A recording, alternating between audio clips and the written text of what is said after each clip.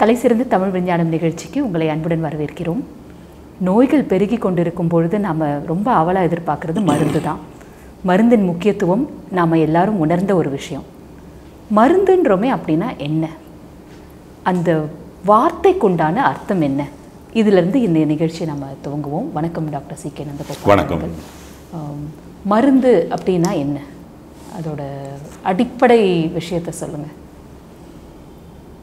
medicine medicine is the word இங்கிலீஷில் ஆங்கிலத்தில் medicine medicine வந்து ஒரு ஃப்ரெஞ்சு வேர்டு இங்கிலீஷை பாரோ பண்ணிக்கிட்டாங்க.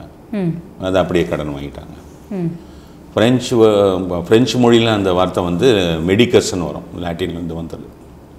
எல்லாமே பாரோட் லாங்குவேஜ் தான் அவங்க சைடில் இலக்கணத்தோடு உருவாக்கப்பட்டது தமிழ் மொழி.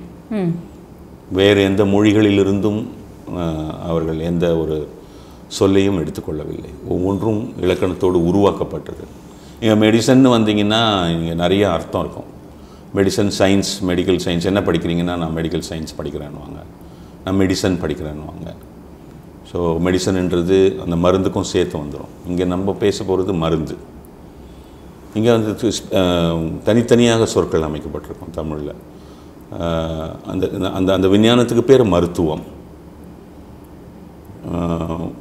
நோய்வாய்ப்பட்ட ஒருவரை குணப்படுத்துவதற்கு தேவைப்படுபவர் மருத்துவர். தேவைப்படும் கல்வி மருத்துவம். அதுக்கு அடுத்தது தேவைப்படுவது மருந்து. மருந்து என்பது ஒரு ரசாயனம் ஒரு பொருள். இந்த மருந்தை தான் உனக்கு ஒருத்தர் கொடுக்குறோம். ஓகே உங்களுக்கு இந்த இந்த வியாதி வந்திருக்கு இந்த மருந்து நீங்கள் சாப்பிடுங்க. இத்தனை நாள் சாப்பிடுங்க அப்படின்னு. அதனால் மருந்து என்பது அந்த அந்த அந்த மெடிசன் என்ற அந்த ஒரு அது வந்து ஒரு புது சொல் இங்கிலீஷில். தமிழில் வந்து மருந்து என்பது ஒரு இலக்கணம் மிகுந்த ஒரு சொல். இதுதான் நீங்கள் புரிஞ்சுக்கணும். மருந்து வந்து எண்ணற்ற வகைகள் இருக்குது மருந்தில் அது அப்புறம் பேசுவோம். மருந்து என்பது நோயை தீர்க்கக்கூடிய ஒரு பொருள். இந்த மருந்து எடுத்துக்கிறது ஒன்று தான் நோயை தீர்க்குமா? மருந்து மட்டும் வந்து ஒரு நோயை தீர்க்காதுங்க. கண்டிப்பாக. உங்களுடைய உணவின் கட்டுப்பாடு வந்துடும் மருந்து கொடுத்தாலே. இப்போ ஒரு மருந்து வந்து ஒரு ஒரு ஒரு ஒரு ஏதோ ஒரு சூரணம் கொடுக்குறேன் இல்லை ஏதோ ஒரு பற்ப வகை மருந்து உங்களுக்கு கொடுக்குறேன் அப்படின்னாலே ஃபஸ்ட்டு அதுக்கு வந்து தேவை வந்து விரோசனம். இந்த விரோசனத்தை பற்றி நம்ம தனியாக பேச போகிறோம் விரோசனம் கொடுத்த பிறகு தான் மருந்து கொடுக்க முடியும். அந்த மருந்து கொடுக்க ஆரம்பிச்சிட்டாலே உங்களுக்கு உணவு கட்டுப்பாடு வந்துடும் உணவு கட்டுப்பாடு உங்களுக்கு ரொம்ப முக்கியம். இந்த மாதிரி நம்ம தமிழ் விஞ்ஞானத்தில் தமிழ் மருந்துகள் சாப்பிடும் பொழுது நீங்கள் புலால் உணவை தவிர்க்க வேண்டியிருக்கும். புளி தவிர்க்க வேண்டியிருக்கும். நல்லெண்ணெய் கடுகு இதெல்லாம் தவிர்க்க வேண்டிய ஒரு ஒரு சில ஐட்டங்கள்லாம் இருக்குது பொருட்கள். ஏன் அப்படின்னு கேட்டிங்கன்னா இந்த மாதிரி உணவுகள் சாப்பிடும்போது நீங்கள் சாப்பிட்ற மருந்து ரத்தத்தை சென்று அடையும் பொழுது உங்களுக்கு இந்த உணவுப் பொருட்கள் அந்த மருந்துகளை செயலிழக்க செய்துவிடும். அதனால் மருந்து ஒரு ஒரு ஒரு மருந்தினுடைய குணாதிசயத்தை முழுவதுமாக அந்த குருதிக்கு சென்று சேர்த்து அது நோயை களைய வேண்டும் என்றால் அதற்கு மற்ற கட்டுப்பாடுகளும் தேவை. தேவை. எதை நம்ம மருந்துன்னு சொல்கிறோம் ஏன்னா உணவே மருந்துன்னு ஒரு காலத்தில் சொன்னாங்க. இப்போ உணவு வந்து நம்ம நாக்குக்கு சுவையான விஷயங்களை மாத்திரம் எடுத்துட்டு துவர்ப்பு கசப்பெல்லாம் தவிர்க்க ஆரம்பிச்சிட்டோம். உங்களுக்கு உடலில் வந்து குருதி ரத்தம் இதுதான் எல்லா இடத்துக்கும் போய் உடலுக்கு உயிரணுக்களுக்கு தேவையான பொருட்களை கொடுக்கறது பிராணத்தை கொடுக்கறது எல்லாமே பண்ணுது. எல்லா அசுத்தங்களையும் எடுத்துன்னு வந்து தன்னை தானே தூய்மைப்படுத்திக்கிறது. இது ஆரோக்கியமாக இருக்கணும் உங்களுக்கு. உங்களுக்கு ஒரு வியாதின்னு வந்தாலே ரத்தம் மாசுபடும். ரத்தத்தினுடைய மாசின் அளவை அதில் வந்து அந்த விஷத்தன்மை ஜாஸ்தி ஆயிடுச்சு. தேவையற்ற பொருட்கள் சேர்ந்து போச்சு. அதெல்லாம் திரவ நிலைகளில் இருக்கும். அதை வந்து தூய்மைப்படுத்துவது தான் மருத்துவம் மருந்தினுடைய வேலை. ஒரு ரத்தத்தை தூய்மைப்படுத்துவது தான் ஒரு மருந்தினுடைய வேலை.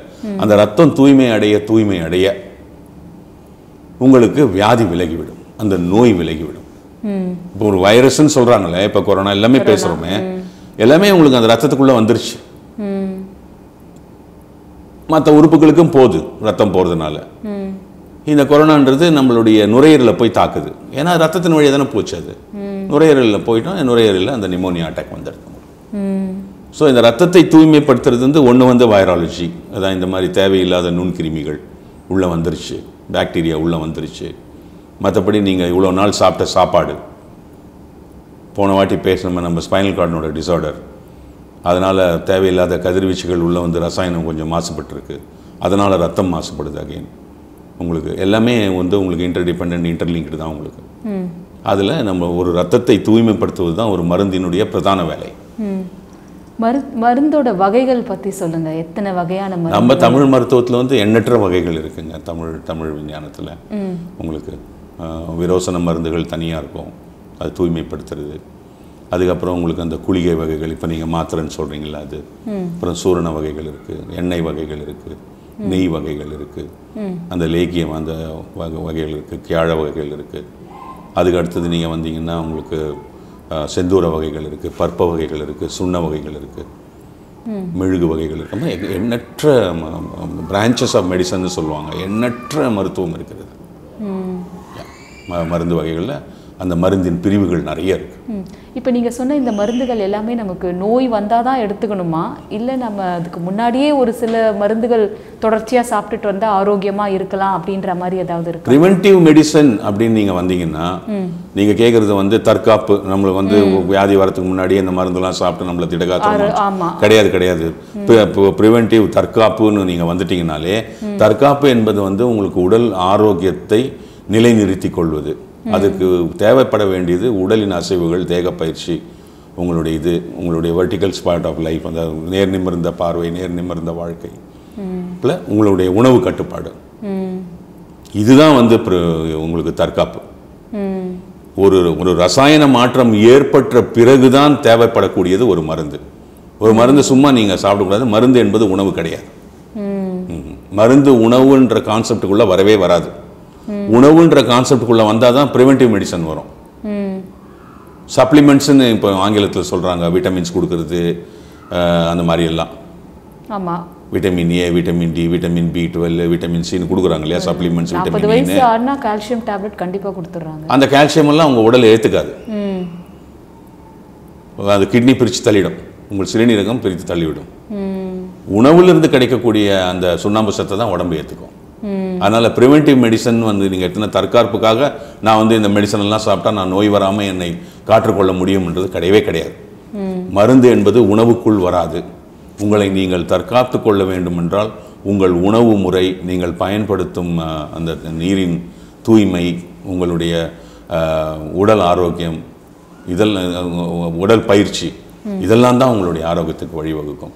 நோய் என்ற ஒன்று தாக்க பிறகுதான் உங்களுக்கு மருந்து என்ற ஒரு சொல்லும் அந்த மருந்து என்ற ஒரு பொருளும் அதன் பயன்பாடும் உங்களுக்கு அந்த பழக்கத்துக்குள் வரும்.